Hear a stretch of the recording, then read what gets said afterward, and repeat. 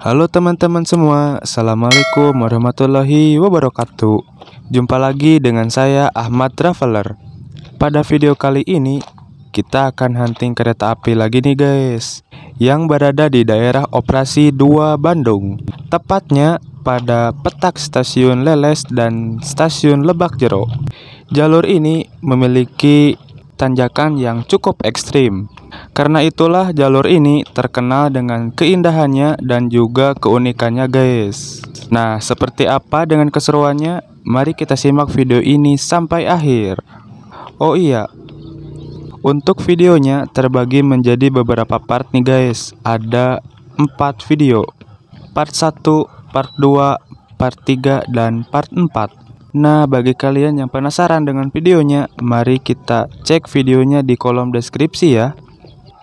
Saya menuju ke lokasi itu jalan kaki saja ya karena tidak ada akses untuk sepeda motor di sana.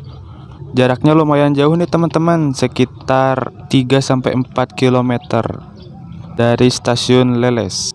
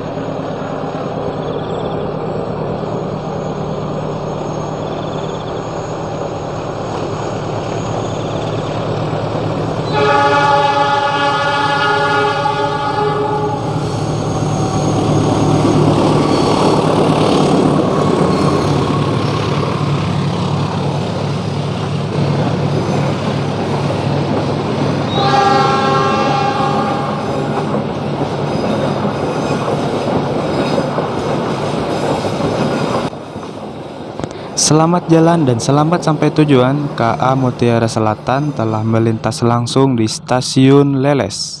Setelah keadaan aman, saya pun langsung melanjutkan perjalanan lagi nih guys. Ya walaupun saya sudah tahu jadwal kedatangan kereta api, tapi tetap saya harus berhati-hati di perjalanan.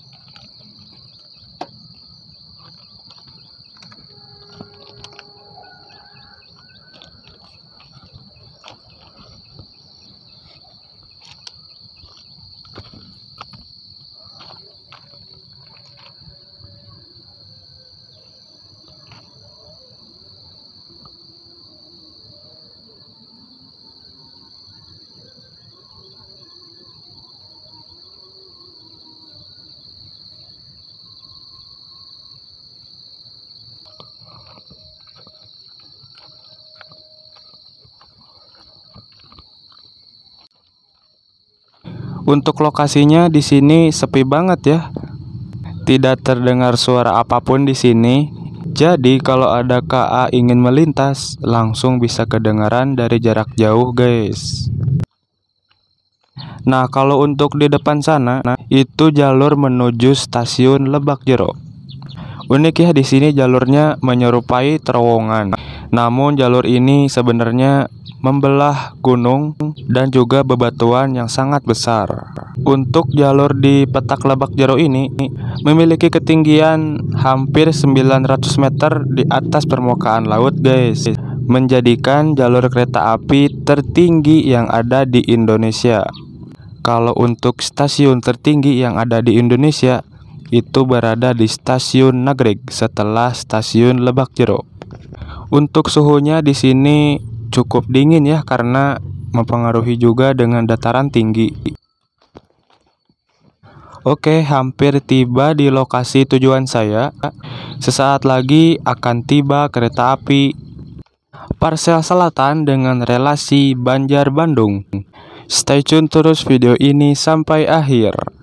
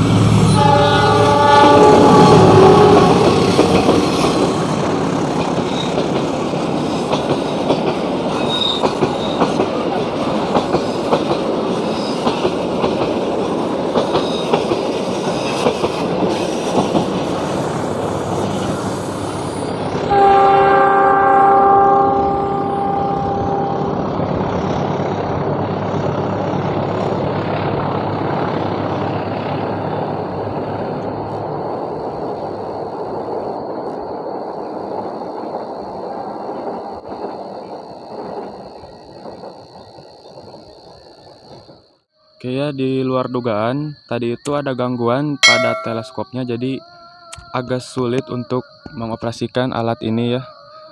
Jadi mohon dimaklum, kita simak kereta api selanjutnya. Itu KA Parsel Selatan yang di luar dugaan ternyata itu double traksi ya. Mungkin ada gangguan lokomotifnya atau bagaimana, saya juga belum ada info. Tadi itu yang baris ke-1 CC 206 kalau baris yang kedua itu CC 201 dengan tujuan akhir yaitu stasiun Bandung. Sesaat lagi